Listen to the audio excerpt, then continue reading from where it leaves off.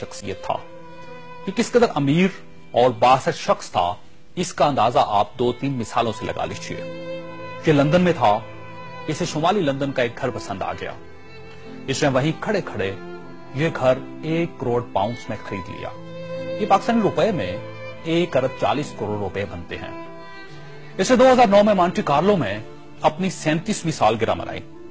یہ دنیا کی مہنگی ترین سالگرہ تھی جس میں روس کے المونیم ٹائکون اور لیک ٹیری پاسکا سونے کی کانوں کے مالک پیٹر منک اور مناکو کے شہزادے البرٹ سمیت دنیا بھر کی مشہور شخصیات نے شرکت کی۔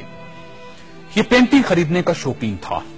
اس کے پاس اربوں ڈالر کے شاہ پارے تھے اور یہ تمام شاہ پارے اس کے محلات میں لگے تھے۔ اسے دو ہزار چھ میں اسرائیلی اداکارہ اورلی بینس مین اچھی لگ گئی۔ تو اس نے اس کے گرد دولت کے انبار لگا دیے۔ چنانچہ یہ اس کی گرل فرینڈ بن گئی اور یہ دنیا کی مہنگی ترین گرل فرینڈ تھی برطانوی وزیر اعظم ٹونی پلیئر اسے اپنا ذاتی دوست کہتا تھا اور اس پر ٹین ڈاؤننگ سٹریٹ کے دروازے ہر وقت کھلے رہتے تھے۔ برطانوی شاہی خاندان نے اسے کئی بار بکنگم پیلس اور ونڈسر کاسل میں لنچ اور ڈنر دیے تھے۔ یہ لندن اور پیرس میں پلے بائی کی زندگی گزارتا تھا اور اسے دنیا جہان کے قانون توڑ کر بہت خوشی ہوتی تھی۔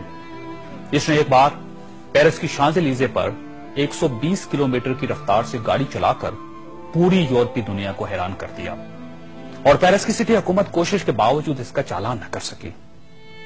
یہ لیبیا کی انویسٹمنٹ اتھارٹی کا سربراہ بھی تھا اور یہ اتھارٹی دنیا کے کسی بھی ملک میں کسی بھی وقت دس بلین ڈالر تک کی سرمایہ کاری کر سکتی تھی اور یہ ایک بہت بڑا استحقاق تھا۔ اس شخص کا نام ناظرین سیف الاسلام ہے۔ اور یہ لیبیا کے سابق حکمران کرنل قذافی کا بیٹا ہے۔ سیف الاسلام کرنل قذافی کا وارث اور ولی عہد بھی تھا اور اسے دنیا کا دنیا کا اس کے بارے میں خیال تھا کہ یہ کرنل قذافی کے بعد لیبیا کا حکمران ہوگا۔ یہ اس قدر باثر تھا کہ کرنل قذافی کو نیوکلیر پروگرام ترک کرنے پر بھی کسی نے قائل کیا تھا۔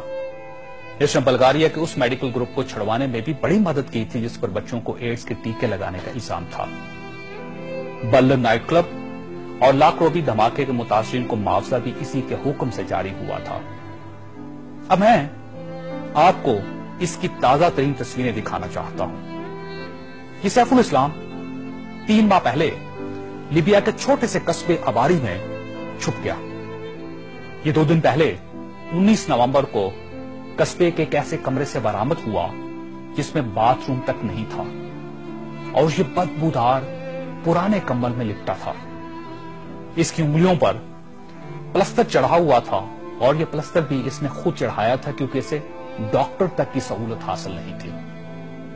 یہ سیف الاسلام اس وقت لیبیا کی موجودہ حکومت کے قبضے میں ہے اور پوری دنیا میں کوئی شخص اس شخص کو پناہ دینے کے لیے تیار نہیں۔ جو تین ماہ پہلے تک ملکہ برطانیہ کا شاہی مہمان بنتا تھا اور ٹونی بلیر اسے مائی فرینڈ کہتا تھا اور پیرس کی کمپنیاں اس کے لیے خصوصی خوشبو ایجاد کرتی تھی۔ یہ ہے سوال۔ اور یہ تصویر دنیا کے ان تمام حکمرانوں اور ان کے خاندانوں کے لیے عبرت کا سبق ہے، جو اقتدار کو سب کچھ سمجھ لیتے ہیں۔ اور جو اس زون میں مبتلا ہو جاتے ہیں کہ ان کے اقتدار کا درخت ہمیشہ سبز رہے گا۔ یہ تصویر دنیا بھر کے حکمرانوں سے چیخ چیخ کر کہہ رہی ہے کہ جو حکمران عوام کا اعتماد کھو دیتے ہیں۔ ان کا یہ انجام ہوتا ہے۔